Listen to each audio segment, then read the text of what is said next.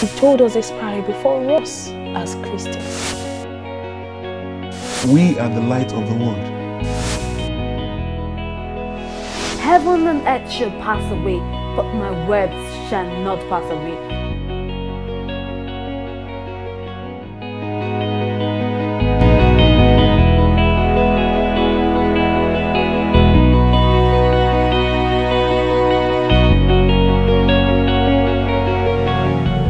Once again, it's my pleasure to grace your TV screen with another interesting episode of The Parables. Yes, my name is Nzubechi Frank, and today on the program, I'll be talking parables with the Venerable Samuel Emanga. He is the vicar of St. Stephen's Anglican Church, Kabusa, and the rural dean, Kabusa Deanery. And for today, we will be considering the parable of the wedding feast recorded in the book of Matthew 22, 1 to 14. Please, Daddy, you help us read. Matthew chapter 22 from verse 1 to 14. The 22nd chapter of the Gospel was recorded by St. Matthew.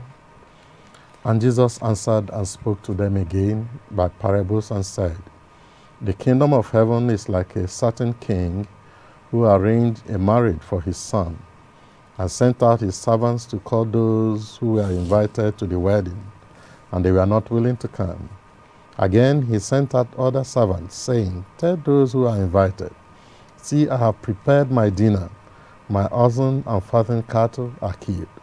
All things are ready. Come to the wedding. And they made light of it, and went their ways, one to his own farm, another to his own business. And the rest seized his servants, treated them spitefully, and killed them. But when the king heard about it, he was furious, and he sent out his armies, destroyed those murderers, and burned up their city. Then he said to his servants, The wedding is ready, but those who are invited were not worthy. Therefore, go into the highways, and as many as you find, invite to the wedding. So those servants went out into the highways and gathered together all whom they found, both bad and good. And the wedding hall was filled with guests. But when the king came in to see the guests, he saw a man there who did not have a wedding garment. So he said to him, Friend, how did you come in here without a wedding garment? And he was speechless. Then the king said to his servants, Bind him hand and foot, take him away, and cast him into utter darkness. There will be weeping and gnashing of teeth, for many are called, but few are chosen. This is the word of God. Thanks be to God. Wow. Okay, so but before we look at this parable, I, I just want to get your thoughts on the idea behind parable. Like, what do you think made Jesus to speak in parables? Yeah, um, parables are short, fictitious narratives of something which might really occur in life or nature from which moral lessons are drawn. And uh, parables sometimes are used and are very important because the, the, the, the, narratives easily capture the attention of the audience. And there, there will be this hunger, this willingness to unravel the, the, the reason or the lessons in, embedded in it. Jesus spoke in parables because actually Jesus will not cast his precious gem uh, among swines. Mm. You will observe from scripture that each time Jesus spoke to the multitudes, he used parables. Yeah. But when he is with, with his disciples, when he sat with his disciples, he spoke to them plainly. Like if you, if you go to Matthew chapter 13, you know, 10 to 11 and verse 13, as the disciples try to find out, why, did you, why do you speak to them in parables? And he, he told them clearly that for you, you are the one that are meant to know the mysteries of heaven. But for them, it is spoken to them so that hearing they may hear, they may not understand. Mm. Seeing they may see, they will not be able to, to, to, to perceive. So Jesus, particularly, for you to understand Jesus and understand his word, you must have a relationship with, with him. him. If you don't have relationship, there's no closeness. If there's no bond between you and Jesus, really there's you you will not be able to decipher what actually has in mind. So for the, the multitudes, uh, they, they, they hear in parables. But if you want to get him clearly, if you want to understand him in all intents and purposes, you Mm. must have a relationship with- with him. So do you speak in parables? Yeah, I do sometimes. Uh, I do. I do. But, but actually, um, uh, it's, it's- it's not fashionable now, but, but it's something that is worth doing. It's, No, uh, I was thinking like it's more of a preferred way of teaching these days. Yeah, it's, it's, it's, it really, really, really is, is, is actually good to use parables Okay. because uh, parables, as, as I said, in, enables you to use uh, s- certain symbols that can be identified b- by people to convey truth and bring out moral lessons. Like in normal African cosmology, you know, uh, it usually said that um, every bona fide African ought to understand parable. Parable. And the expectation is that you don't, one should not explain the meaning of a parable to you. They said that if one does that, it means that the dowry paid on the person's mother is, is, is, is in vain. And also, uh, one of the renowned uh, literary icons, Chi- Chinua Achebe, said in Things Fall Apart that parables are the palm is the palm oil with which words are eaten. yeah. So when, when, you, when you speak in parable, it shows your, your mastery of the subject matter. You really understand the issues and you can, you can really convey it. Well, thanks for that explanation. That's quite an interesting one. So, now let's go back to the parable that we are discussing about. That is the parable of the wedding feast. You know, this particular parable seems somehow, but I think it has its bearing on the kingdom of heaven. Yeah. So, how would you describe the story and the meaning of this parable? Yeah, in, in, in this, the, the parable we just looked at, Jesus used wedding ceremony, as it were, uh, with all the preparations and activities that goes with it to convey the truth of the, the, the kingdom of God. And, uh, and he needed to, to do that. You know, in the wedding where we were read, people were invited. There was this in- invitation beforehand. So the date of the wedding uh, didn't take the invitees by su- su- su- surprise. They, they all knew. Yeah. And, and also by way of his, his explanation, even for us, like the kingdom of God, the in- in- invitation is, is, is going on. Exactly. The invitation is going on. People are being invited through the word, the, the gospel message that is, is, is going on. Uh, so the invitation is on now. And drawing from scripture, John chapter 3, verse 16. For God so loved the world that he gave his only begotten son. So the, the message of uh, Jesus, as it's being preached, and people receive it, is the invitation that they have to that wedding feast. And when the Bible says also in John chapter 3, verse 3, you must be born again. These are all invitations. That's, that's your invitation card. That's the identity you're going to use to enter to, to, to access the kingdom. So, and, and, and several issues also. Now, the necessary furnishing, like in where we read, all the necessary things that, will, that should make the guests feel, feel comfortable, enjoy the, the day, was made available. Say the, the, the oxen has been killed, the fattened cow has been killed, all is ready. It uh, has been made ready. For the kingdom of God, the things that will make us comfortable in the kingdom is being made ready. Jesus said, I go to prepare a place for you. And when I'm done doing that, I'm going to come back and take you with me so that where I am, there you will be also. So the, it is being made ready. Things are ready. And also, you, you, you will understand that after Jesus had finished that, he will come back. And every man must have that consciousness that Jesus is going to come back to now usher us into this feast, into the, the, the kingdom of God. But the issue is this are we, are we ready? Mm. Mm. Are we ready? Mm. Now, you know, looking at that wedding, the wedding feast, you know, I wanted to ask, or let me ask, what was a wedding like?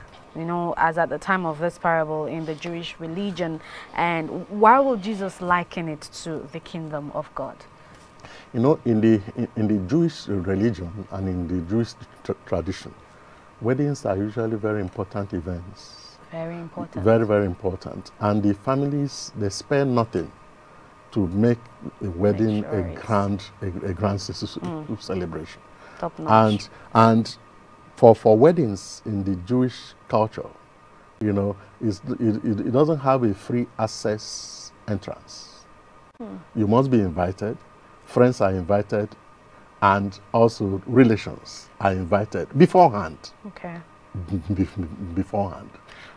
So, so the similarities are there, and also the the wedding garment. The, sometimes the, the the celebrants usually we make some garments and distribute to people, or they will decide this the kind of garment is going to wear.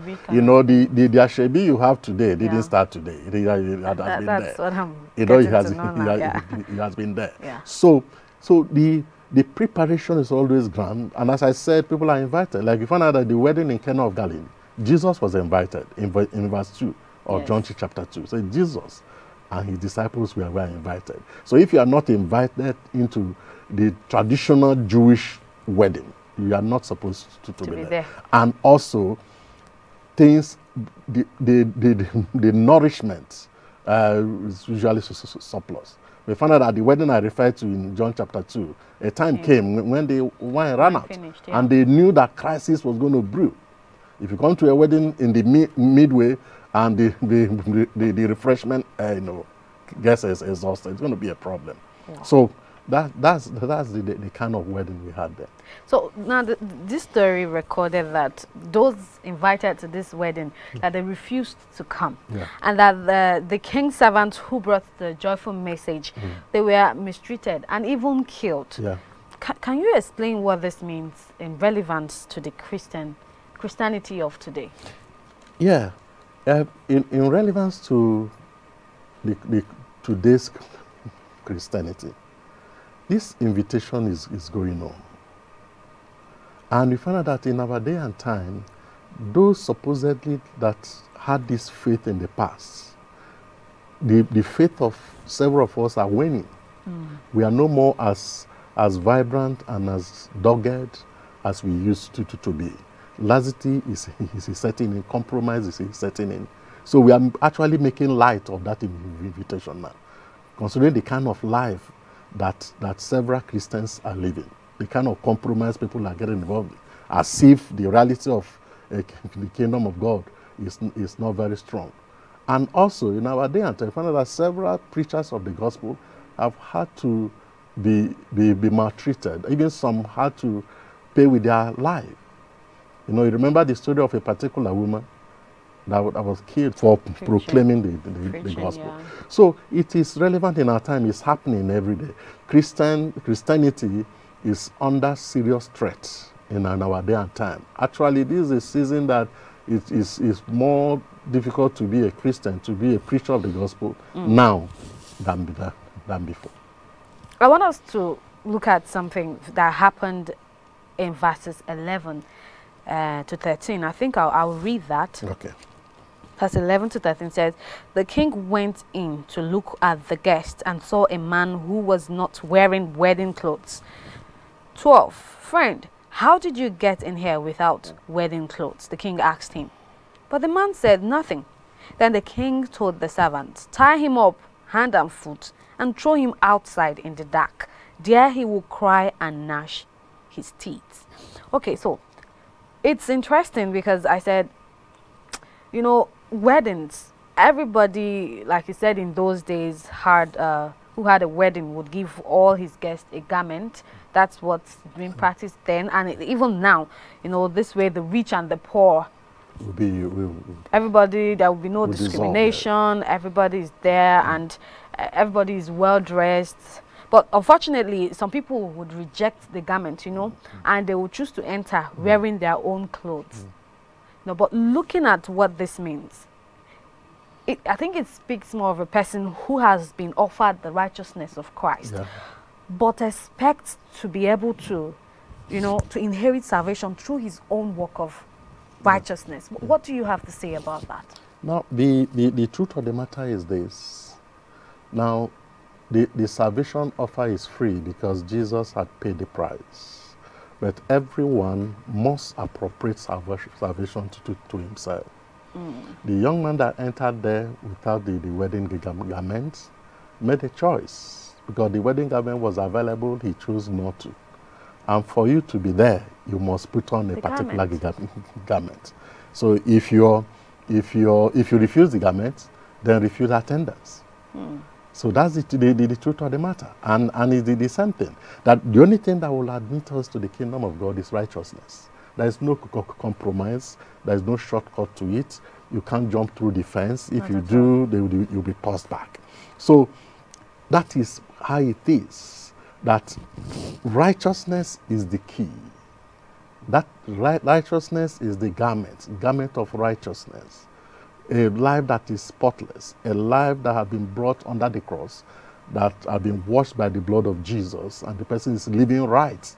Not live, you, you, may start right, but you must end right.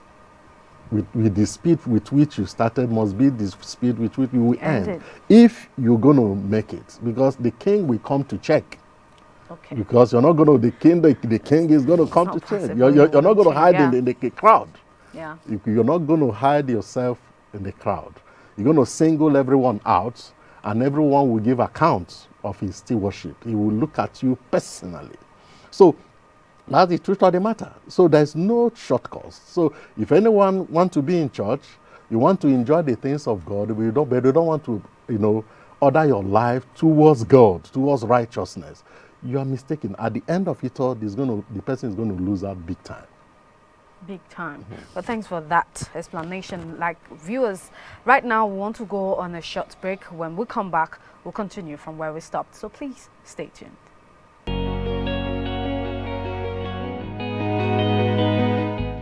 Welcome back, viewers. If you're just joining us, we've been talking parables with the Venerable Samuel Emanga, the Vicar of St. Stephen's Anglican Church, Kabusa, and the Rural Dean, Kabusa Deanery. And we've been considering the parable of the wedding feast as recorded in Matthew chapter 22 from verse 1 to 14. Moving on, um, help us there. You know, Jesus summarized this parable with a, a statement where he said that for many are invited, but few are chosen. So, what is the take home from this statement? Now, um, another translation had it as many are called, but few Are are, chosen, chosen. yeah, yeah. Now, this is a, a, a caution to every child of God, any believer as we speak.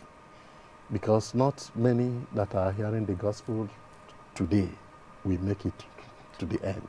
That's true. Not many that are in church today will make it to the end. Some will fall by the wayside. Not many people that are zealous, that, are, that seem to be committed today, will make it to, to, to the end. So it's actually a caution that we must be careful that we remain true to our faith up to the end. Because it is not the beginning of the race that matters, it's the, the, ending. Now, if, if you look at, and this um, collaborates what we have in 7, 1 Corinthians chapter 10, verse 12. Say that, "There is- therefore let him who thinks that he stands take heed, lest he falls. So, no matter your spirituality now, make sure that you continue to fan it to flare. You continue to kindle it to ensure that it continue to burn to, to, to the end. Because if you had, if you have committed yourself to the Lord, you've done so well and you're doing well. If you don't take it to the very end, you're not going to be part of those that are going to be in the kingdom. So it, it actually brings fear to, to me because it's not how I started that actually will matter. Mm. It's how I'm going to end.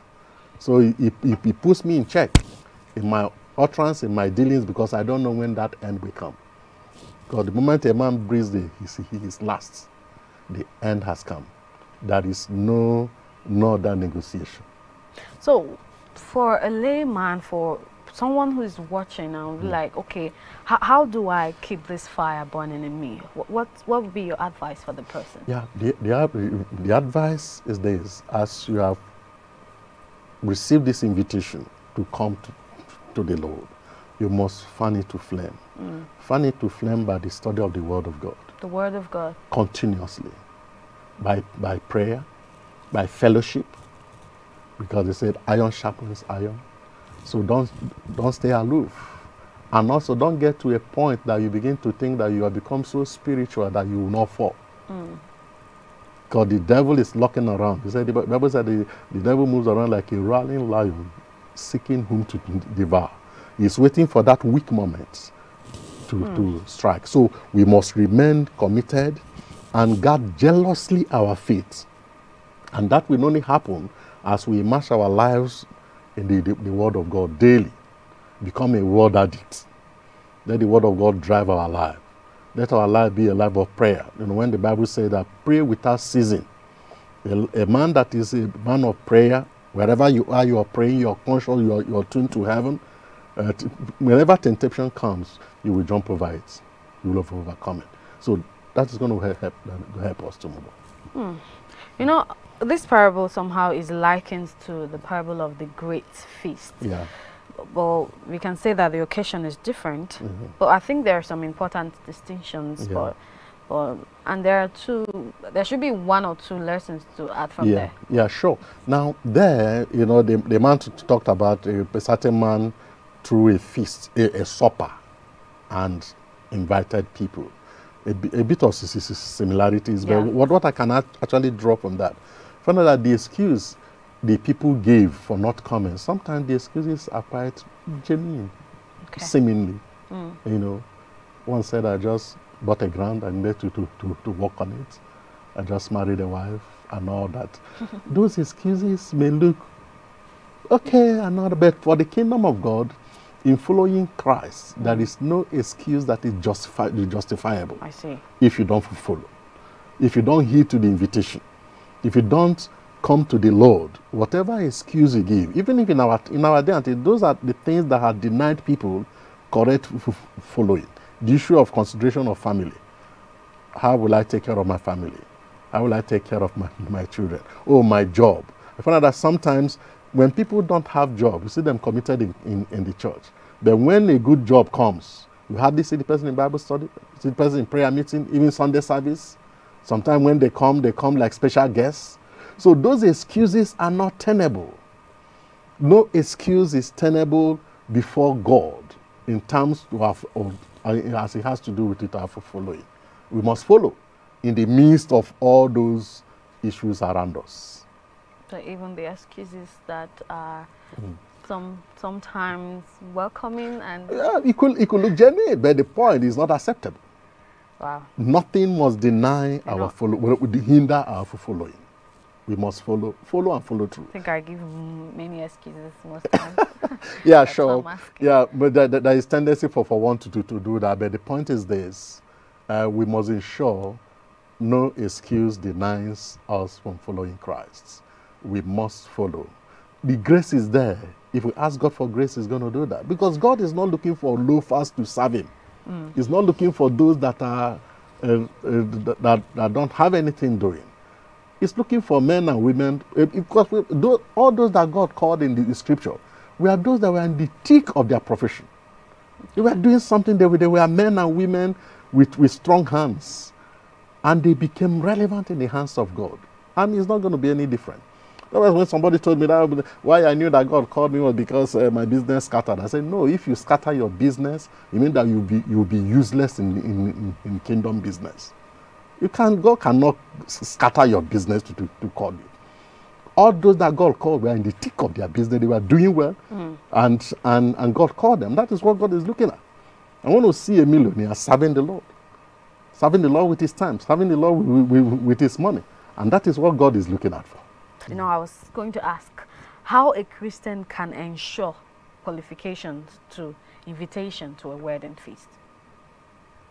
ensure qualification. Actually, we are we were qualified by Christ. God is not expecting us to do any new thing. All that is expected to be done has been done. Mm. Christ had paid the price, but it's just for us to believe Him, to receive Him as, as our personal Lord and Savior, Yeah. and to walk with Him. And part of the ways to do that, if your commitment will be seen to, to be right, is by the diligent study of this, the, the, the, the Word of God, Scripture. Hmm. Be a word addict. Don't allow anything to deny you time With with God. the Scriptures. Being prayerful, a man of prayer, a man of consistent prayer life, pray, pray about every, everything. The Bible says, pray without ceasing. Wherever you are, be a man of prayer. When you're a man of prayer, it means that you are in tune with heaven all the time. There's nowhere the, the devil can come in. As he roars, when he comes around, he says that the fire of God around you is, so, is burning so strong. Yeah. He, can, he can't get to you. Fellowship. Don't deny fellowship. Must ensure that you, you enjoy fellowship with other believers. So those are the things that helps us to fan our our flame, continually fan, fan, fan it into flame and make it burn and burn and burn more, more and more. Thanks for that explanation. Now, you know, coming from a clergyman view, you know, I know from experience, you should know whether Christians, whether churches are responding to God's invitation uh, to eternal life with Him. Do you think they're respond they are responding positively or negatively? In our, in our day and time, I must say that something is missing.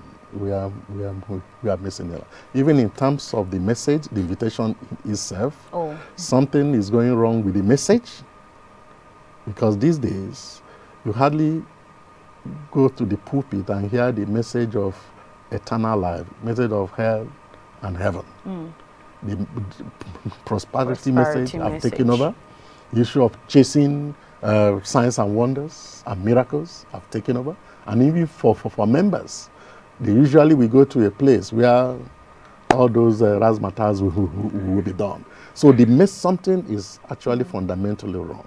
But the issue is this: God is gonna, is not going to lower His standard for our sake. The same standard He placed on those that had gone ahead of us is the same standard He expects of us. yeah. So if we are going to make it, we must get back there. The, the message of eternal life is the message. That's the message of the scripture.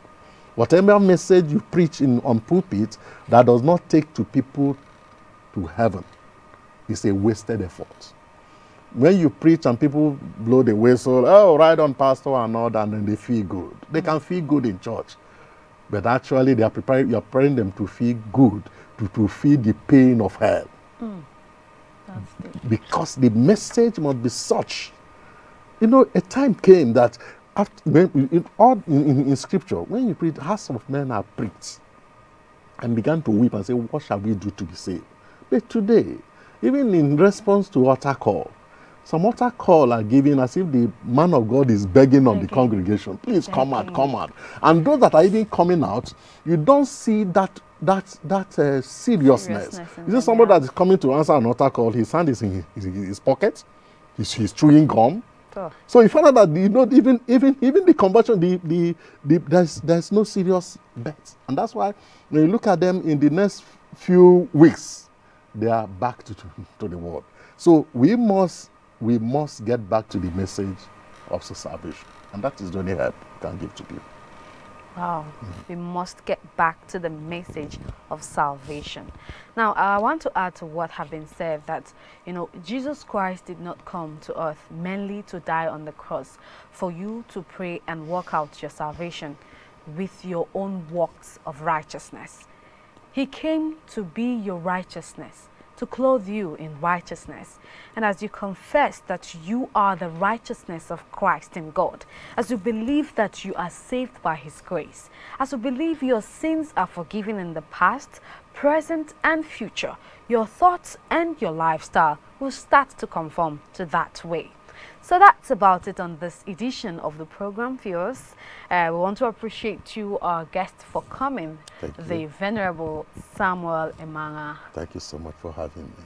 Welcome. All right, viewers, uh, we hope that you enjoyed every bit of today's edition of the program. And please don't forget to subscribe to our social media handles as displayed on your TV screen. And we invite you to join us same time, same station next week for another interesting edition. Till then, I am Nzubechi Frank, and thanks for watching.